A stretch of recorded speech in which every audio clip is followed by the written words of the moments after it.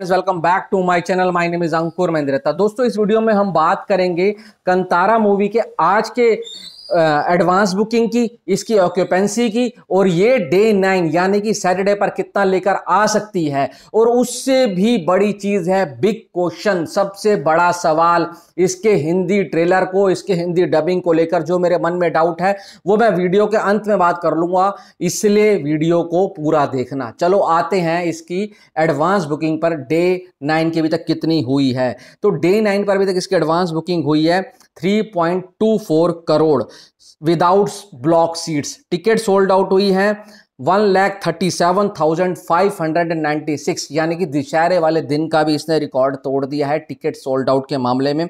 अगर मैं बात करूँ ऑक्यूपेंसी की तो मैसूर में है 80 परसेंट शिवा मोगा में है 91 परसेंट एंड कुंदापुरा में है 99 परसेंट एंड मैंगलुरु में है 79 परसेंट मतलब कि बहुत तगड़े लेवल पर क्रेज चल रहा है। और मेरे कुछ कल व्यूअर्स ने बताया था कि सिंगल स्क्रीन पर इसका और ज़्यादा क्रेज है। हंड्रेड मतलब इलेवन हंड्रेड थाउज़ेंड जो सीट्स वाले बड़े बड़े सिंगल स्क्रीन थिएटर्स हैं, वहाँ पर भी हाउसफुल जा रही है। मतलब ये फ़िल्म रुकने का नाम नहीं ले रही है। अब इसका जो अर्ली एस्टिमेट आ रहा है, आज के क्रेज को देखते हुए सेवन टू नाइन करोड़ ये टेन करोड़ भी जा सकता है पर अर्ली एस्टिमेट है। इस बात को समझने की कोशिश करना।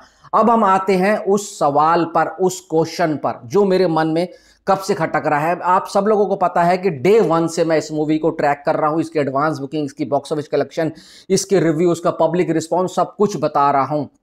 तो जब से इसका हिंदी ट्रेलर की अनाउंसमेंट हुई है, तब से ये क्वेश्चन मेरे मन में है कि क्या हिंदी ऑडियंस इस मूवी से, इस मूवी के कंटेंट से कनेक्ट कर पाएगी? क्योंकि ये जो मूवी है, एक कन्नड़ा पीपल जो हैं, वहाँ के जो लोकल लोग हैं, उनके कल्चर से, उनके रूट्स से, उनके सोल से कनेक्टेड है तो क्या ये कंटेंट हिंदी स्पीकिंग ऑडियंस खासकर नॉर्थ इंडियन जो हैं, उनसे कनेक्ट कर पाएगी। ये कनेक्ट कर पाना बहुत ज़रूरी है।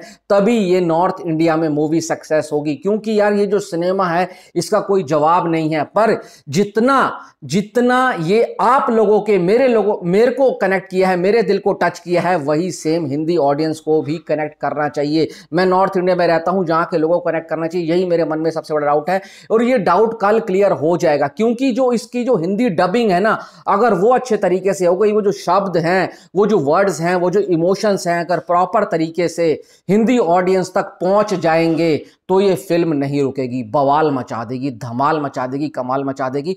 आप सब लोगों को क्या लगता है? कमेंट बॉक्स में कमेंट करके अपनी राय दें। पूरी तरीके से कमेंट बॉक्स आप सब लोगों का खुला हुआ है, खासकर जो बैंगलोर मैसूर साइड लोग रहते हैं, उनसे मैं क्वेश्चन पूछ रहा हूँ। आइए और अपनी राय रखिए। बाकी वीडियो में इतना ही। Thanks for watching